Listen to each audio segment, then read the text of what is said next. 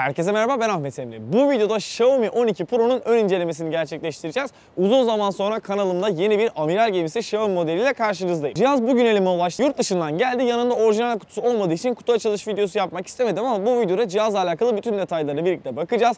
Tasarımı, kamera özellikleri, içerisindeki yeni MIUI 13 arayüzü. Bu videoda bu detaylara hep birlikte bakıyor olacağız. Bu cihazı bana ulaştıran Turan CSM'e teşekkür ediyorum. Satın almak isterseniz açıklama kısmında gerekli bağlantıları bulabilirsiniz. Ve videoya geçmeden önce hala kanalıma abone değilseniz de abone olmayı unutmayın. Şimdi gelin Xiaomi 12 Pro'nun detaylarına birlikte bakalım. İlk olarak tasarım detaylarıyla hızlıca başlamak istiyorum. Cihazın bana gelen rengi mor ve gerçekten aşırı hoşuma gitti bu renk. Su yeşili tarzında ayrı bir rengi var. O renk de hoşuma gitti. Onun dışında birkaç farklı renk seçeneği daha bulunuyor ama bu gelen mor rengini ben fazlasıyla beğendiğimi söyleyebilirim. Tam olarak mor değil aslında biraz daha lila tonlarında e, bir renk bu cihazda bulunuyor. E, Dış tarafında çok güzel bir doku bulunuyor. Zaten detay çekimlerde de göreceksiniz. Hissiyatı da gerçekten başarılı. Cihazı kılıfsız şekilde kullandığımda bu dokuyu fazlasıyla beğendim. Cihazın sol üst köşesinde kamera bölümünü görüyoruz. Son zamanlarda çok daha büyük kamera kısımları görmeye alışmıştık. O yüzden e, o kadar da aslında kaba durmuyor diyebilirim. Burada 3 tane kameramız yer alıyor. Bu kameraların detaylarına birazdan değineceğim. Arka tasarımı ile birlikte bence gayet sade ve şık olmuş. Ön tarafa baktığımızda ise burada da tam 6.73 inçlik kocaman bir ekran bizleri karşılıyor ve bu ekran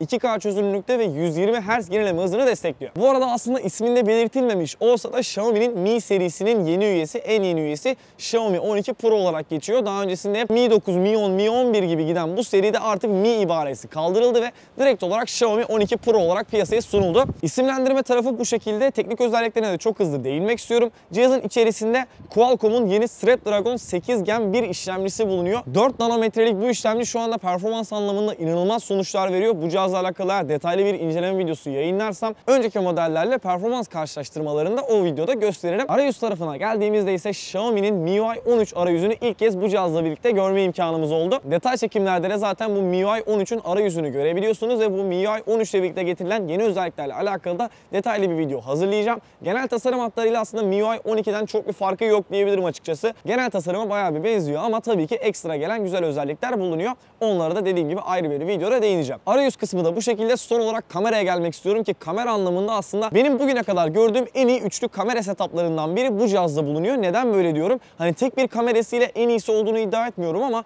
bu cihazda 3 adet 50 megapiksellik kamera bulunuyor ve diyafram değerleri gerçekten çok iyi. Bu kamera tarafında sadece ana kamerada değil ultra geniş ve telefoto lenslerde de çok başarılı sensörler kullanılması benim bayağı hoşuma gitti. 3 adet 50 megapiksellik lens bulunduğunu söylemiştim. Ana kameramız 50 megapiksel çözünürlüğünde f1.9 diyafram açıklığına sahip. Telefoto lense baktığımız zaman 2x optik zoom yapabiliyor ve bu lensin diyaframı da yine f1.9. Bir telefoto lens için çok iyi bir diyafram değeri. Ultra geniş açı kameraya baktığımızda ise yine 50 megapiksellik çözünürlüğün yanında f2.2 diyafram açıklığına sahip. Yine bizim ultra geniş açılı kameralarda nadir gördüğümüz düşük diyafram değerlerinden bir tanesi. Cihazla çektiğim kamera örneklerinde yine şu anda ekranda görebiliyorsunuz. Ana kamerasıyla birlikte 8K 24 FPS videolar çekebiliyor. Bunun dışında tabii ki 4K 60 FPS video desteğimiz de yer alıyor. Siz bu cihazın kamera özellikleri hakkında ne düşünüyorsunuz? Yorumlar kısmında belirtmeyi unutmayın. Benim bu videoda bu cihazla alakalı bahsedebileceklerim bunlar. Biraz kısa bir video oldu ama e, çok da uzatmak istemedim çünkü cihazı da bir gündür deneyimliyorum. E, ön inceleme tarzında bir video oldu ve eğer fırsatım olursa cihazı bir süre deneyimledikten sonra detaylı bir inceleme videosu ve